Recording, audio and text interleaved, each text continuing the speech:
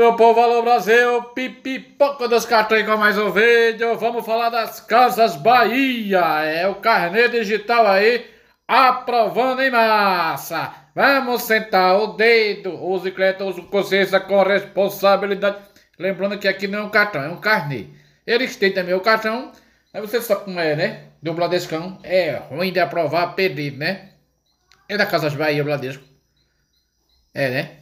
Pronto, eu sei que o carnê aí, o pessoal estão sentando dele e tá aprovando, é. Aprovou aqui vários inscritos no grupo aí, ó. É, pessoal, é, com parcela de 18, até 18 vezes, né? É, esse aqui, ó, parcela barata de 48 reais, né? Mas esse aqui, ó, foi 210, né? Esse aqui é o valor da parcela, né? No caso, em 12 vezes de 210, dá o quê? Dá 2.400, né, de limite. Aí nas Casas Bahia. Esse aqui, ó, esse aqui já foi melhor. É cada perfil é cada um, né? Cada perfil aprova mais, cada perfil aprova menos. Aqui aprovou, ó, 12 vezes de 780. Se você fazer a conta aí, dá quase 10 mil reais, né? Quase 10 mil reais aí nas Casas Bahia.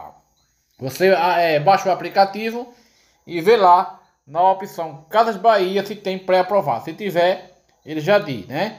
Para comprar também, é naquele sistema. Você tem que comprar e entregue pelas casas Bahia lá e ver as taxas e ver quantas parcelas pode comprar. Em até 18 parcelas aí você pode comprar nos carnês da Casas Bahia, aprovando em massa. Confira o seu aplicativo e comenta o vídeo, né?